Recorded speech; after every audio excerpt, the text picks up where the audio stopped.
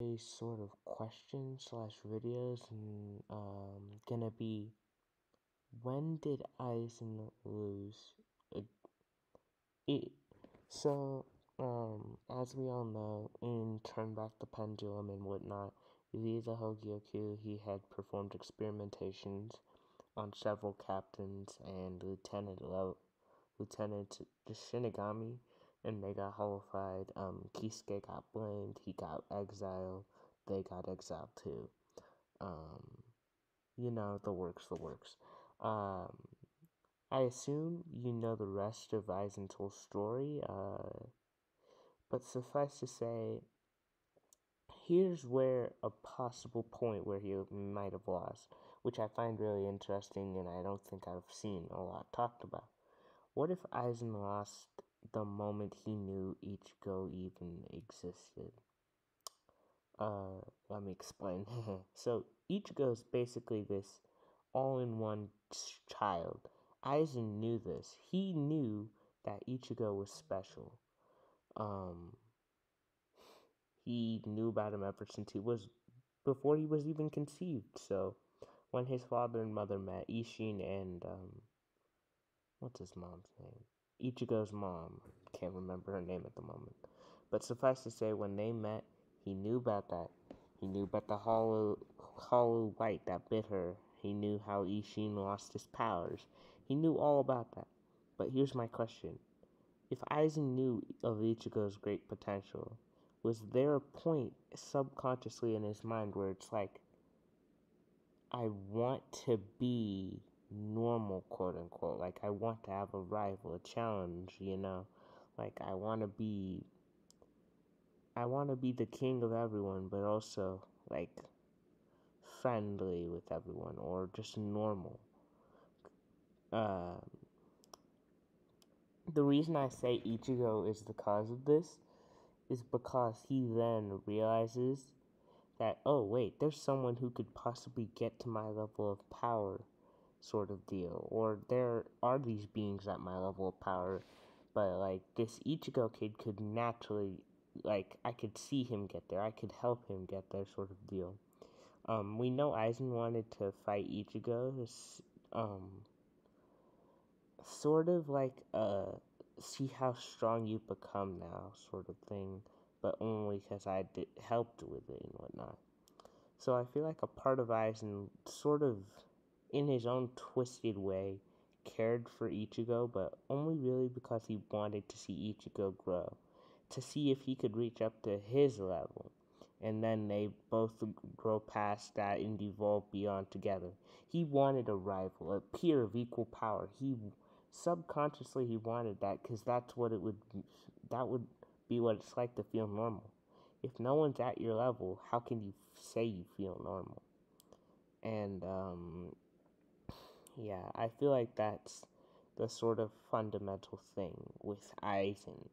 Him knowing that there's someone who could have had the potential to rival and then beat him was like this sort of subconscious beginning of like maybe I should let them he it's sort of like the start of maybe I can get this kid to be strong at possibly near my level. Maybe I can do this it sort of like gave Aizen this new perspective of possibilities, and then he decided to act on um on it. Maybe not so. Maybe a very small part of his carefulness was taken. then again, you could also argue the fact that Aizen never lost at all. Um, we know that he went back to Muken. Um, not sure why. I- am gonna be honest. I'm not sure why. Um, he might be training in there, and he might realize that oh, Muken's sort of like maybe a location where I can somewhat avoid the damage if the Soul Society is attacked or something like that. Um, not sure if that's the case because Yuha still got there, but like it's Yuha.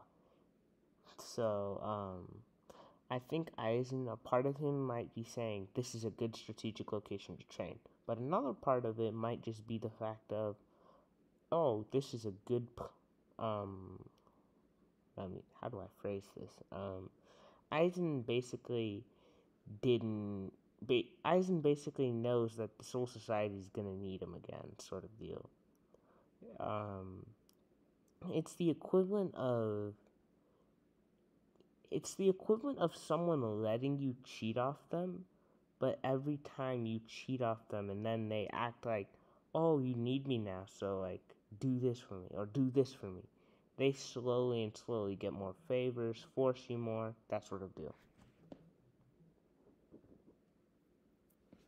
But suffice to say, I feel like um, that's definitely an interpretation. Aizen wanted to go back in there because he's strategically planning something. And then there's this other reason of Aizen just didn't go back. He he used Kyoka Suigetsu. It's fused with him now. Um, he tricked the entirety of the Soul Society into thinking he's in here. Well, I wouldn't say he's tricked them so much as they're convinced. They don't know for sure, but they're like, I we think Aizen's in there, sort of deal. Um,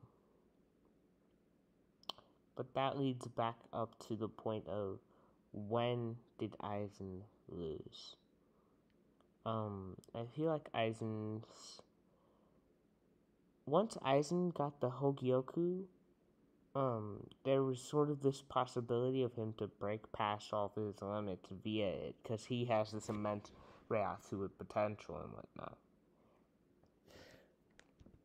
Which in turn um, is relevant because uh, said Reiatsu and potential got him to the point that no one else with the Hogyoku would have, slash could have.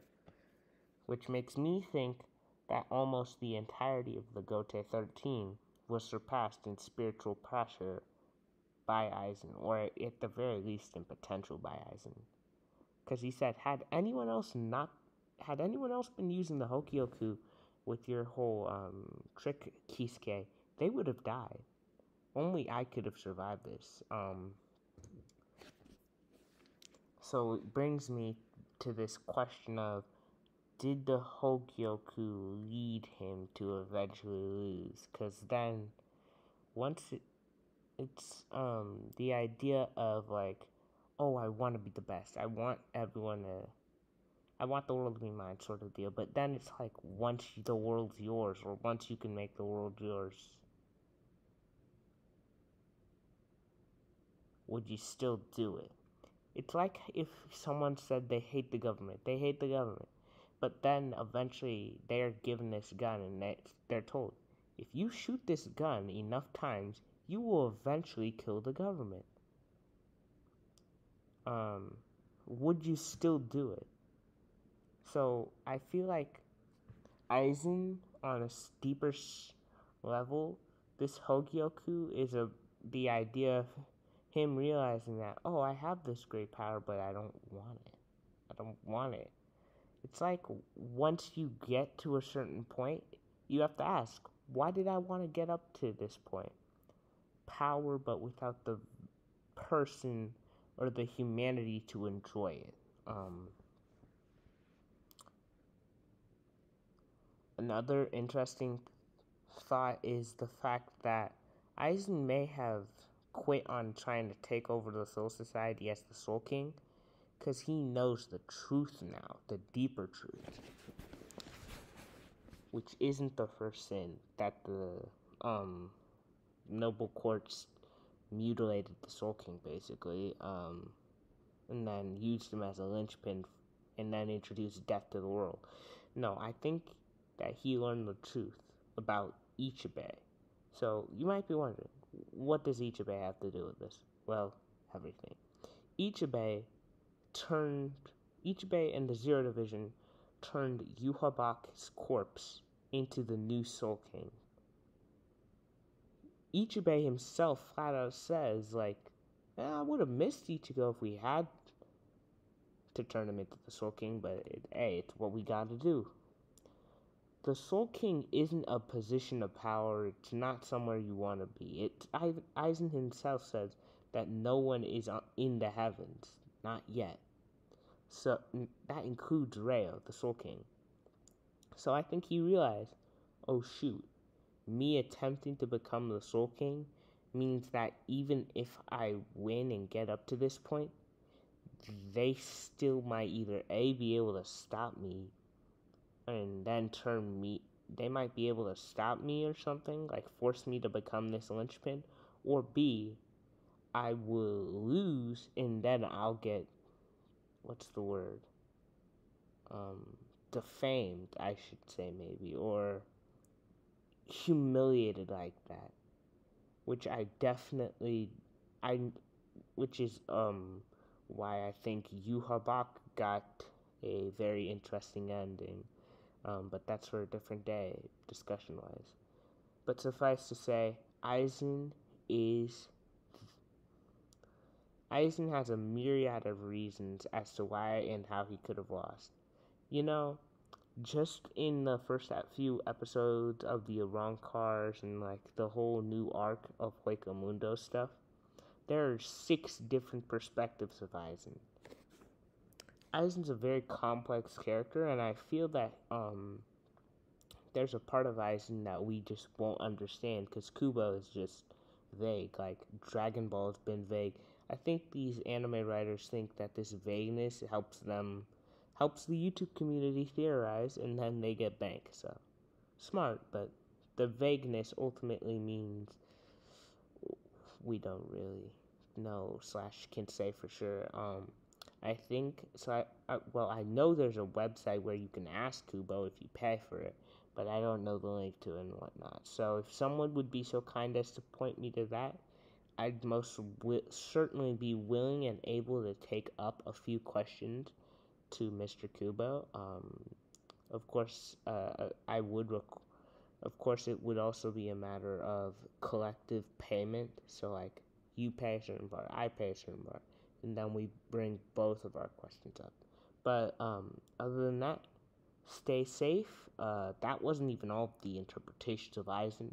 I know that you guys probably have more. Um, if you want me to talk about your interpretations and my other interpretations, please let me know in the comments below. Um, with that, I'm not.